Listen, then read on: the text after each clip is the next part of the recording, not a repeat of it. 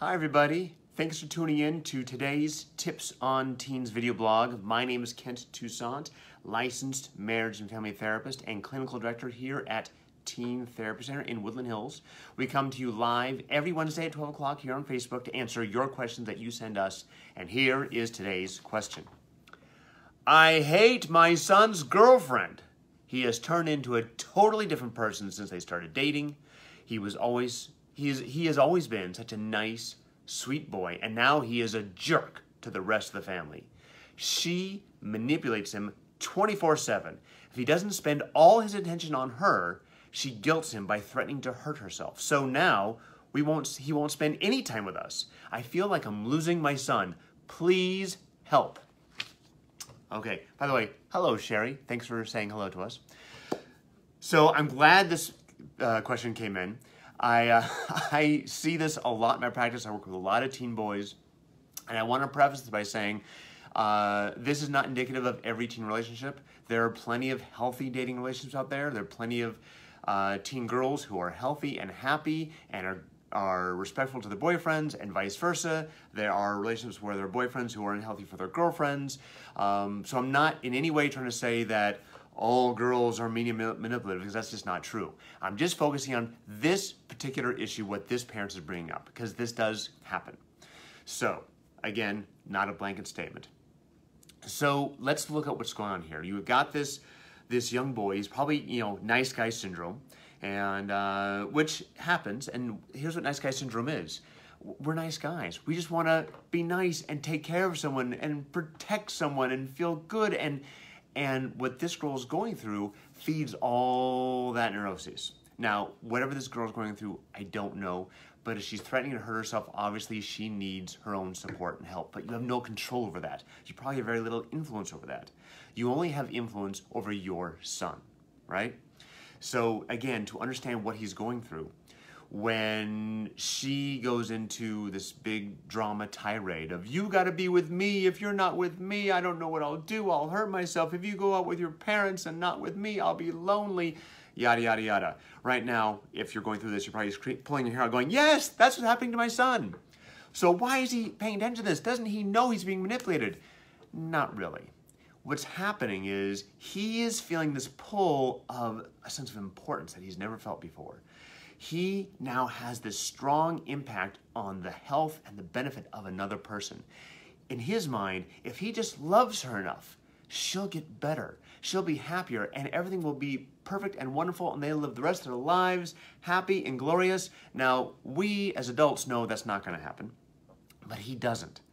And trying to tell him that's not going to happen is just going to push him farther away from you. In fact, anything you say that is derogatory, detrimental, negative about uh, his girlfriend is going to push him more toward her because every time you say anything bad about her, he now needs to put on the helmet and the shield and the sword and he has to protect her from the evil dragons that are in this world, right?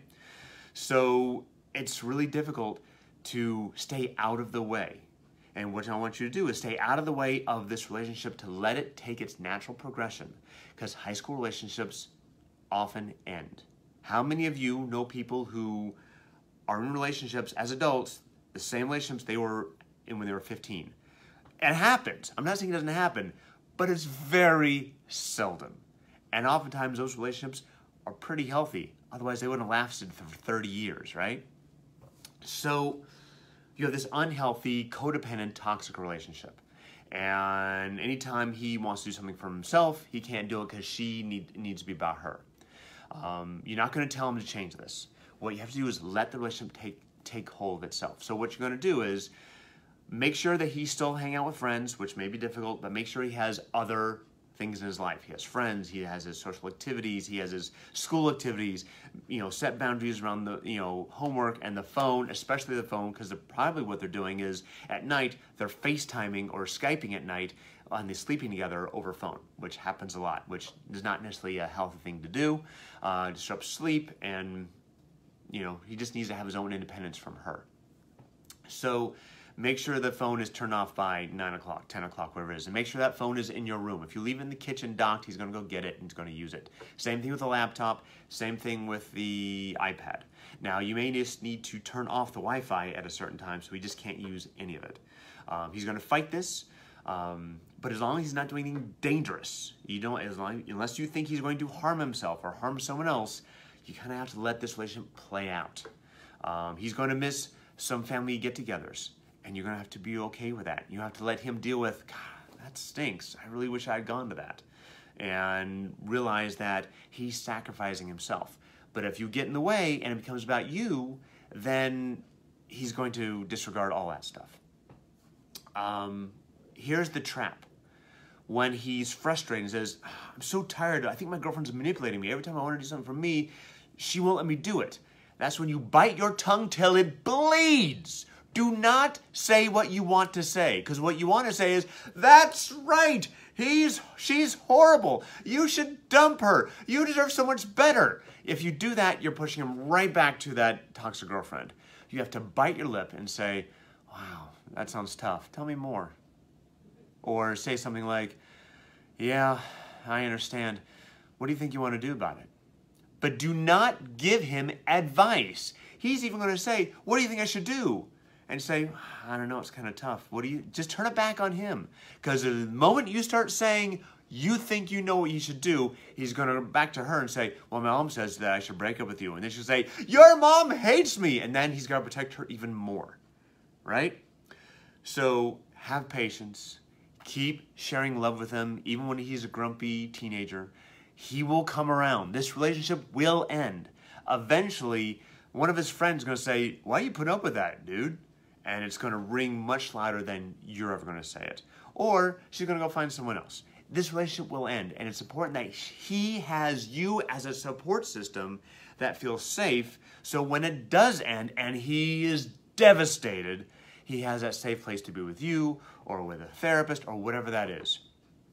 Again, great topic. I have several clients in my caseload right now dealing with this exact same situation. I'm sure a lot of you are. Um, if you find this topic interesting, please share it with other people.